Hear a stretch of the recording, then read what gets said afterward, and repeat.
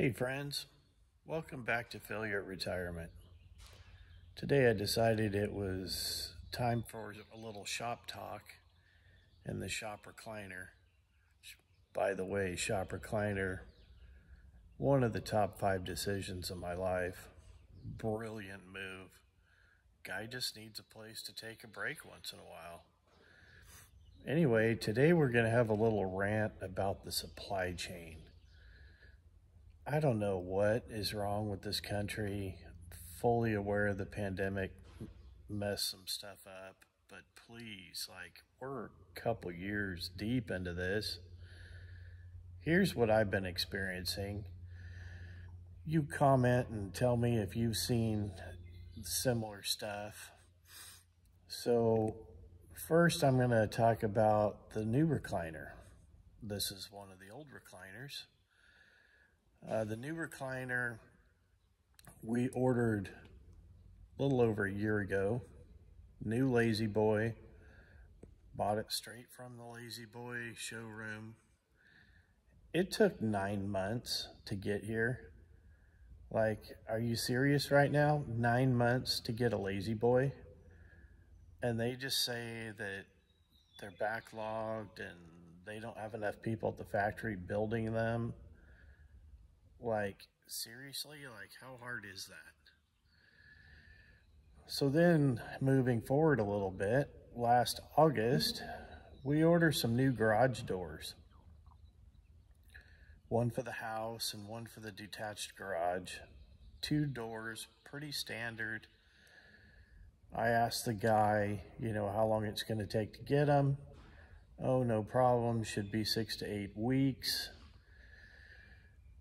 okay, he wanted half the money up front, which annoyed me pretty seriously. Like, if I'm waiting that long, like, you're not getting the bill for the doors anytime soon. Like, why do you want the money up front? Anyway, he basically told me if I wanted garage doors, I was going to give him half the money up front, or I wasn't going to get any. Well, okay, so I go ahead and give him half the money and end of August he orders my garage doors. Sometime in the middle to the late November I start calling going, hey, what about these garage doors? Am I going to get those or not? Well, they would have to find out and then forget to call me back. So that's amazing. And then after that, um, one of the times I called, the girl at the counter, she says that I need to call the garage door manufacturer and find out where they are. Like, okay, are you serious right now? Like, you want me to call the people that you get the garage doors from? Anyway, so now it's uh, the end of April. I, I got the first garage door in January and end of January, they finally showed up with it. And then the second one, he actually had it that day, but he was missing one panel. Didn't realize that till he gets to my house. That seemed kind of dumb. So took another three weeks or something to get that other panel. And then they didn't have the right track.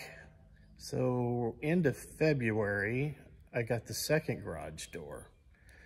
So the problem was the first garage door, two of the four panels were dented. So they said, no problem, they order me more and they'd come back when they come in and they're gonna expedite it. Uh, shouldn't take very long. Well, those other two panels come in and guess what? They're dented worse than the original ones. So here we are, end of April. They're supposed to be out here next Wednesday, which would be May 3rd.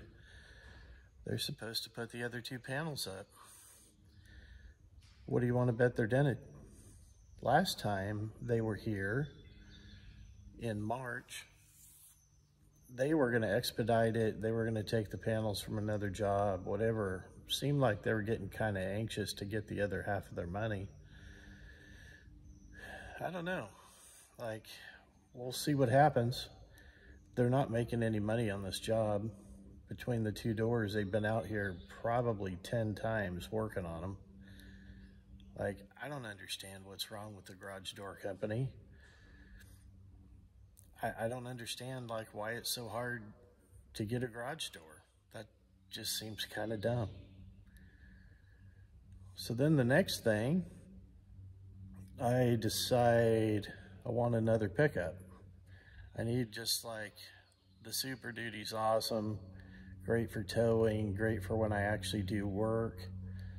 But if I'm being honest, a lot of my work involves going to the hardware store for a handful of stuff and a trip to the post office. So I decided to go ahead and order me a Ford Maverick. So here we go. So ordered the Ford Maverick September 19th. I knew that I was looking at a good six, eight months to get the Maverick. I was just hoping to have it about now. Get a little busier in the spring typically. Uh, typically the uh, trusty Super Duty, it gets its annual spring break at the Ford garage uh, get the emissions system overhauled. Generally about every May. Takes a week every time. Super awesome. This is one of the reasons why we're getting a Maverick. Well, so here we are, coming right up on the 1st of May. No Ford Maverick, not scheduled for production yet. Production scheduled all the way out through the end of June right now. So best case scenario right now is we get scheduled for production in either July or August. Once it's scheduled for production and it gets built, it's gonna be about another one to two months to get it. So if I have the Maverick by August, that's gonna be good. Probably could easily be September. So it takes a year to get a new Ford truck. Seriously? Like, what is wrong? Like, what's going on here? I, I don't understand. Like, get your shit together, build the parts. If you don't have enough employees, hire more. If you can't find employees, guess what? Maybe you're not paying enough. Yeah, I know. This is what leads to inflation. If you have to pay more for employees, you're going to have to charge more for the product. It just is what it is. I ordered this stuff. I want it. Make it. Interesting to see your comments. Like, I'm looking forward to it. Let me know, like, what you've been struggling with. Have a good day.